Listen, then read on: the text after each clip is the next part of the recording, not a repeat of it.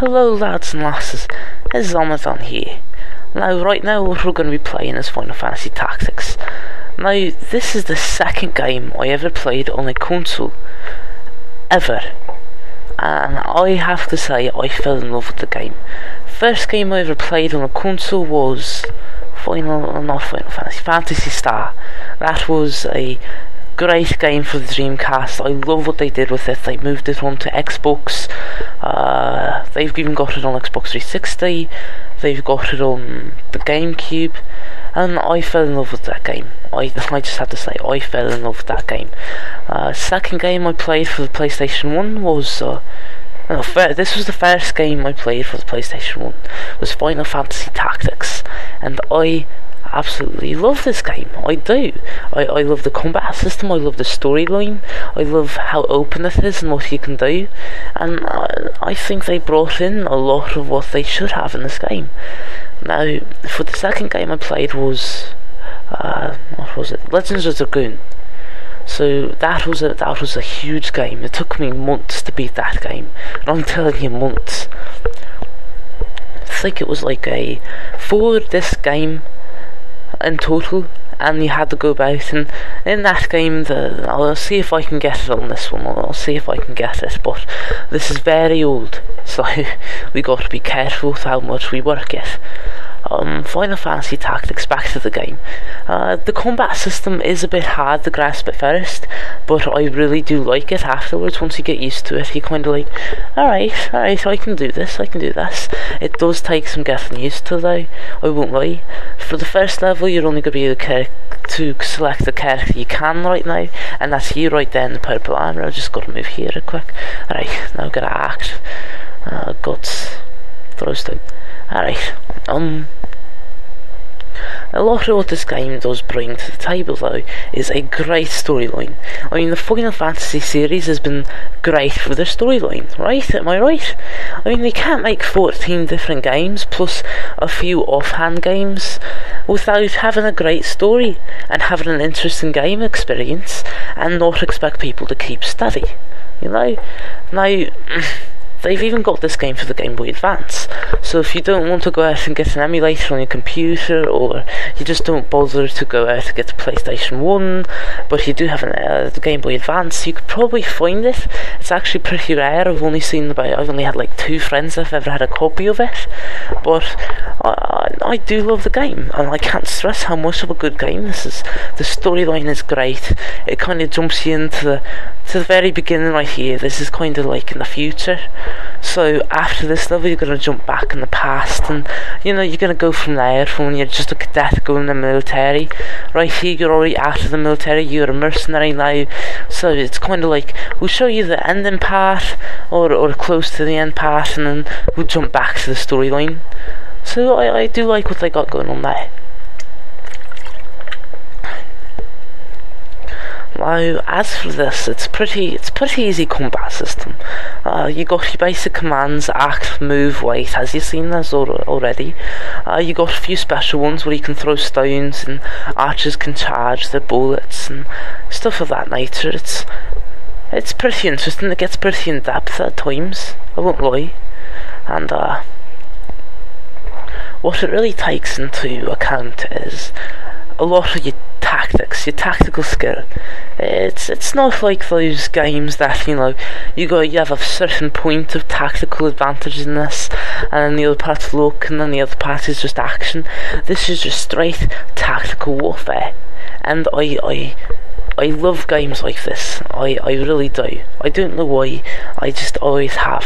So Let's get in here. Lads shooting arrows now, lad levels up. It doesn't really matter if the enemy levels up, because you're killing them anyway, so... And in the very beginning, you know, your character's going to be very overpowered, like right here, all these characters are strongly overpowered.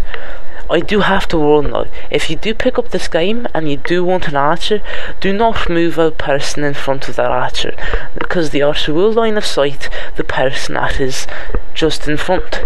So you are going to get shot, and it is kind of depressing. As for much else, it kind of brings to account of you know, where are you gonna move, how are you gonna hit them. If you hit them from behind, you've got like a hundred percent chance of hitting them. You move them from the sides. You know, you basically got those three places you majorly want to hit. If you want to attack a person, you mainly want to hit them from behind, from the left or the right, not generally in the front. Because you know they'd have a chance to dodge, a chance to take less damage, you know. But from the front, it does work at the same time. Um, let's see, let's move. I've got to go take out that lad. So we're going to turn the camera here. And that's a bad thing too. The camera controls do get a bit clunky. Uh, you'll have certain parts of the terrain blocking your character. You're not going to be able to see exactly what you're doing. And I think that was a fault. You can zoom out, but at the time I cannot remember the hotkey. I'll probably end up pushing that on buttons while I'm recording this right now and see if I can find the button to zoom out a tad bit but has anything right here. You got the stasis, so you got a bunch of skills. Each character's got a job, you know, uh, an archer, a squire, a knight, a monk, uh, black mage, white mage. You know, it's got so many jobs, and the further you go on to the game, the more jobs you get. And with those jobs, every time you level up, you get a job level up. Every time you, you kill an enemy, oh, there it goes, I think it was what, G? Alright. Um, uh, the job you you got two pre- you pretty much got two experience bars, right? One's for your actual level, and the other one's for your job level. Now, when your job level levels up, you get a certain number of JP, which is job points.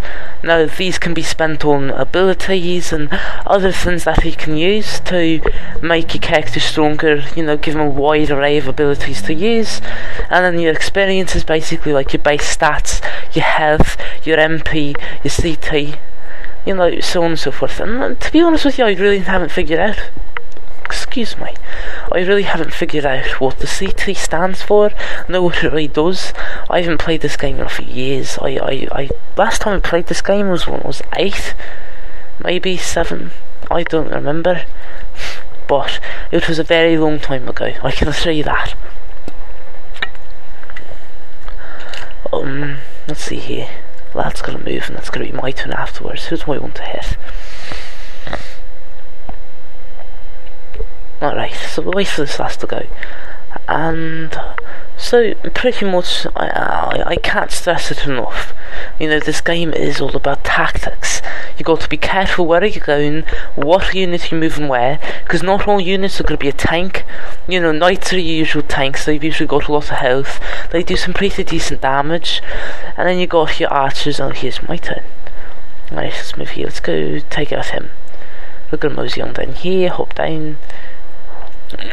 And the interesting one about this game was uh, use circle instead of X.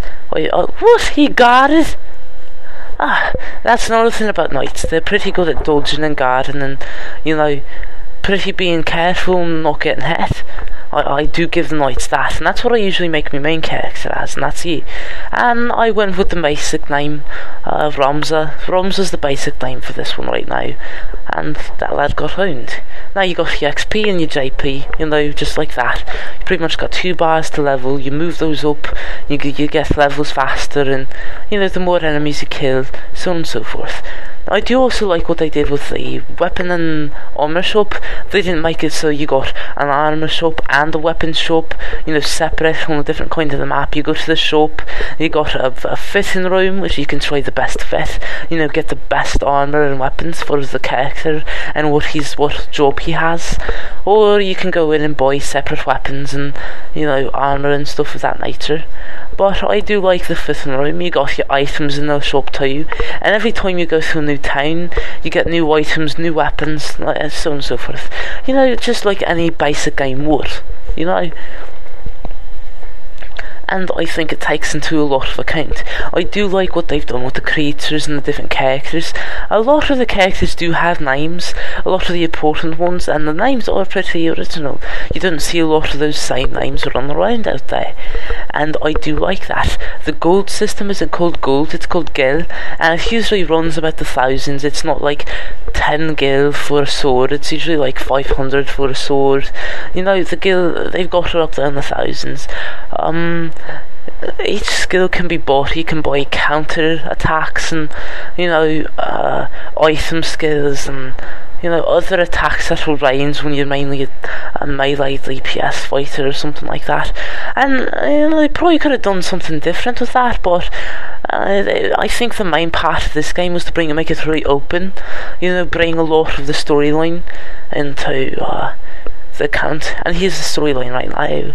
Princess is crying, like at me, and then that lass who's supposed to be guarding the princess is like, damn, let's run. So she's gotta just walk. Uh, I'll give the game its dues. It's got decent graphics for the PlayStation 1 games. I know you've got Crash Bandicoot and you know other games of that nature that actually have a very solid flow for the PlayStation 1 generation. But uh, I do like the graphics. I do like the combat system, how it's squared. You know, you don't get a lot of those chocobos. Are you kidding me? Who does not love a chocobo? Who just doesn't love a chocobo? And that lad that just stole the princess or her rather. Uh, you'll find out who that lad is uh, in the storyline.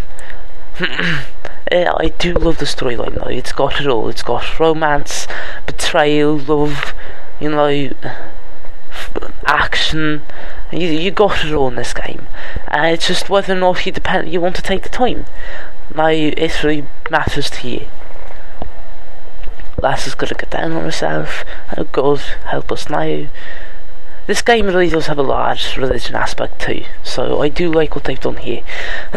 they've instituted pretty much everything around. Now it's gonna get around close to ending here, so I'm gonna bid you all adieu. Uh, good night, good day. I love you all, and deuces, lads and lasses. Have a good day.